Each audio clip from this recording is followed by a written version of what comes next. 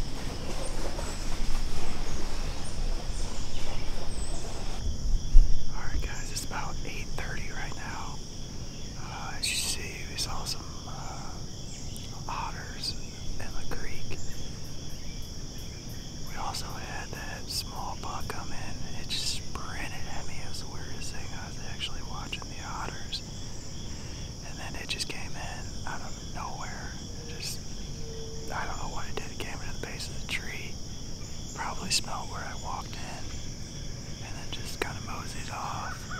Didn't, I don't think I spooked it too bad. It wasn't big enough to shoot anyways. I kind of thought there for a while that maybe another bigger buck was pushing it this way, but it's also October 1st, so I know they're not fighting yet. Uh, I got ready for one, but one never came. I haven't seen any other deer than that yet.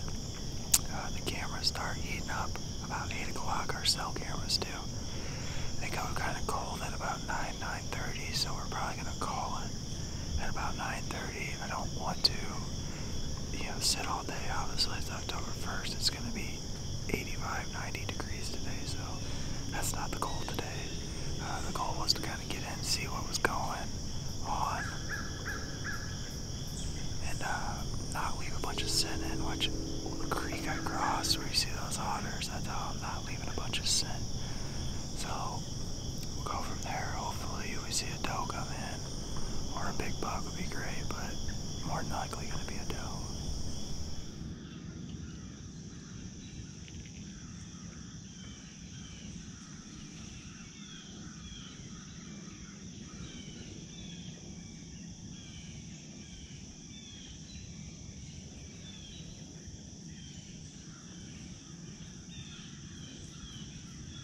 All right, guys. I ended up seeing a little spike. Um, I couldn't get it on camera or anything, so uh, it, it, was pretty far away, maybe 100 yards or so. Um, other than that, nothing. Uh, when I'm walking down here, I'm seeing tracks in this creek, which is great. Um, but I'm also walking in on where I guess they're headed to the other side of the creek on now, where I cleared the path at. So they're probably taking that, which is okay because I can actually shoot them from the tree stand there. So, uh, you know, it's day one.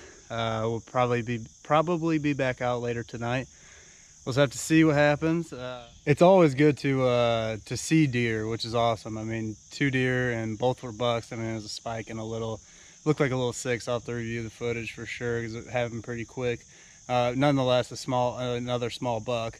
Uh, you know, it's cool to see that on opening days. Usually, you're seeing does, uh, no no deer at all when it's supposed to be 85 out like it is. So we're seeing them, which is great. Um, just not the ones we want to take this early in the season and no bucks that we want to take at all uh, this season at all. So um, stay tuned. Hopefully we can get one down on the second half of this video. If not, you know, this is just episode one and uh, we'll be, we'll get a good one down this season. I have a good feeling between me and Jamie. Hopefully he's got a doe or maybe a good buck down uh, where he's hunting at. So. All right, guys, this is the part I told you about um, stitching this second sit of the year still October 1st. We're to sit the evening here. It's about 4 o'clock, just got in here. On camera, we've had does rolling in about as early as 5.30 or so. Um, same wind, you can see. It's pushing even better than it was this morning, so they, there's no idea that they'll never know I'm in here, which is what we want again. Um, you know, early October sit, I don't want to educate these deer any at all, and that's perfect for where I'm at right now. Um, wind's howling. It is hot, hot. It's like 85, 90 right now. I'm sweating just doing the interview, let alone carrying in all the camera stuff and everything else. Um, that didn't stop them. They came in last night about 6 o'clock, so hopefully we can get on them again. Be patient here for a little bit and uh, see what we see, and hopefully it's a big old doe that's been roaming around in this, these woods here, and uh, hopefully we can get her.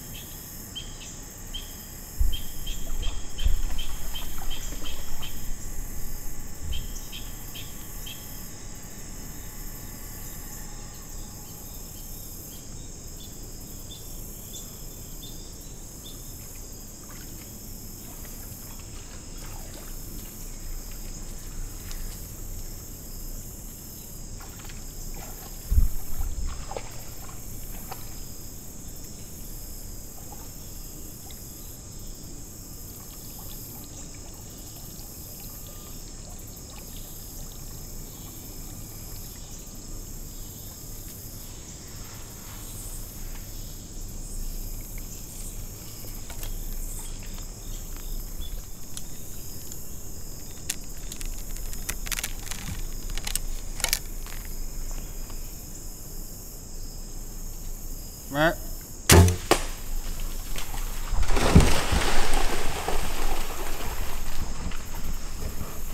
Man, when they say self-filming is the hardest thing, it truly is.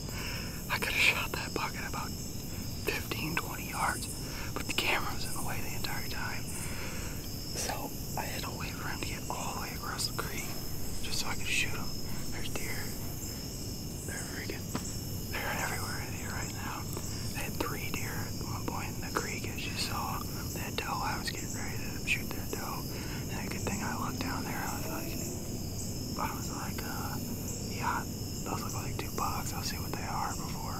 One was that decent one we shot. Problem is, I think I shot him a little high. But the good part is, it's about a 30, probably, maybe more, 40 foot drop down to where I shot him. It's a 30 yard shot. Um, so I, it looks like I might hit him with the hit high. Got good penetration on it though. So I think he's probably came out the other side. Hopefully clipped a lung on the other side, but he took off way down the creek. Um, and then it looked like, from what I could see, bolted back over on this side of the creek, which is good. I should be able to pick up the, uh, the blood trail from there. We're gonna give it a dive Shot at 6:30. I'm gonna give him at least an hour before I even get down. Check that out. I don't know what I was thinking. I didn't put a lighted nock in my in my uh, bow. I should have put one in. I guess earlier in the day when we first got here, I just put the regular nock. Uh, my plan was to shoot all glory nocks this year. Uh, I had one in, one arrow out of the four. That was a regular nock. Put that one in there. Unfortunately, didn't work out. Didn't work out that well for me on that one. Um, but hopefully, we got a dead deer down. We just gotta give it some time. See what we can do from here on out. Alright, so it's clearly not how we want to end the video. Um, this is not why we hunt. You know, obviously, we want to find the deer. Uh, when I watched the video on the camera itself, it's a small screen. It looked good to me at the angle I was at. Um, like I talked in the previous video, I was 20 foot up in a tree and then like another 20 foot drop into that creek. So you're talking a 40 foot angle. Um, I shot, it looked a little high on the big camera. I couldn't tell on the small camera. Uh, once I got, I mean, big computer, once I got them home on the big screen, it definitely was a little high. Um, we did find lung blood though, right away too. I mean, 50 yards down the creek where he took off, found lung, blood in the middle of the creek where it was dry. Uh, had good blood for about 500 yards. It was looking good the entire time, um, and then lost the blood onto a neighboring property. Um, we lost it before we got to the neighboring property, but it looked like he was probably going to that block. Um, luckily, we did a grid search. Um, couldn't find him anywhere, but luckily I know who a guy who owns the further property than that, and he does hunt it. So I don't want to go in there and start, you know, walk around and tear up all his property. He's going to keep an eye out for that deer. Um, there's a ton of coyotes in the area. The meat's already gone, which is what bothers me the most. You know, I do this to eat. I don't do it to get the horns. You know, that's a plus, but you know, a great memory to to remember uh, remember it by. But it's not why it's not why I do it. So, um, unfortunately, this is how we're gonna have to end this video. Um, like I said, we don't want to do it this way. Thought this is opening morning. I thought we were gonna have a good year, off to a good year this uh, this year, but as it is, it just happens in bow, you know, bow hunting. Um, it looked like in the video he might have ducked just a tad, which if he wouldn't have, then possibly could have been a great shot, you know, double lunged him, but you know, it, it is what it is, I guess. Uh, I could have shot him at 15 yards, but the camera's in the way. So, you know, once, like I said before, self filming is very, very hard. Uh, that was my first, well, second hunt I had hunted that morning, but second hunt really diving into the self filming thing. And um, kind of stinks because it cost me a buck already. Um, you know, could have could have got it before that, but but didn't. Um, so we'll go from there. You know, shake it off. Hopefully, the guy I know finds him. That'd be awesome to add that into this video or later on. Because, um, like I said, he's bleeding out of his lungs. He's bleeding out both sides. The arrow got all the way through him too. So I hope he made it all the way to his property because he was that's the property he was living on all summer. So hopefully we can find him and go from there. Thanks for watching. Uh, subscribe. Hopefully we can get another one down and actually find him this time. Thanks for watching.